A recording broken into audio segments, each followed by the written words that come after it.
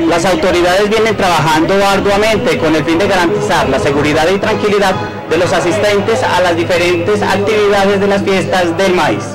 Dentro de las medidas que han sido tomadas con este fin se encuentra la llegada de nuevas unidades policiales durante este fin de semana. Tenemos previsto el apoyo de los carabineros del Departamento de Policía de Antioquia, tenemos previsto un apoyo de personal también de del comando del departamento, un personal de inteligencia y de policía judicial para así garantizar la seguridad y convivencia ciudadana a los onzoneños, a los visitantes, a las colonias que hacen presencia en estas fiestas y esperar que todo transcurra dentro de la normalidad. Se van a realizar diversos operativos con el personal de carabineros para el tema de control de los caballistas, que muchas veces en estas fiestas estas personas con el consumo de ideas embriagantes pues quieren pasar con los caballos por donde ellos quieren. Entonces para eso vamos a contar con el grupo de carabineros que va a estar encargado de controlar todos los caballistas, vamos a tener personal de inteligencia que va a estar pendiente de, estas personas que, no vienen a, disfrutar y a gozar las fiestas del maíz, sino que vienen a, a tratar de hacer sus fiestas, pero de una manera delictiva. Entonces, para detectar todas estas personas que de pronto también se dedican al, al cosquilleo y que aprovechan estos tumultos para poder hurtar las pertenencias a otras personas. Estos operativos de control se verán intensificados tanto en el casco urbano como a las afueras del municipio. Entonces vamos a tener una serie de operativos con nuestro Ejército Nacional en la vía que conduce el municipio de La Unión acá al municipio de Sonsón y acá en el casco urbano pues antes también vamos a tener unos puestos de control al ingreso del municipio para garantizar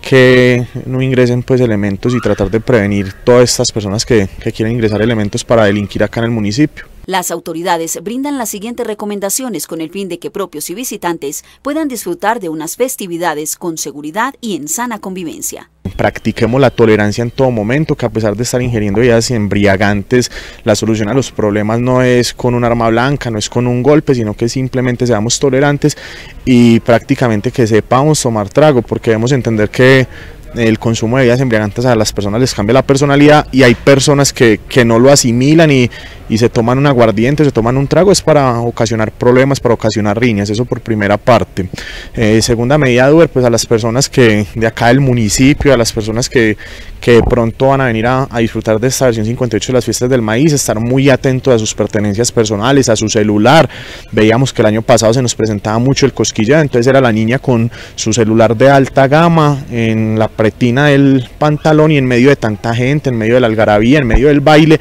no se daba cuenta cuando una persona amiga de lo ajeno se lo sacaba de, de la pretina y le robaba el celular. Entonces, si vamos a disfrutar de todos esos eventos, la recomendación de Uber es que lleguemos a, a esos eventos de, de, afluencia masiva sin portar elementos de valor, sin nuestro celular, sin billetera, sin dinero en efectivo. Yo creo que si nos desconectamos dos, tres, cuatro días de, de estos elementos tecnológicos, pues no nos va a pasar nada y, previene mucho y, ayudamos a que estos amigos de lo ajeno no, no puedan hacer sus fiestas acá en el municipio. Cualquier hecho delictivo o actitud sospechosa puede ser denunciada a la línea del cuadrante de policía 321-841-2620.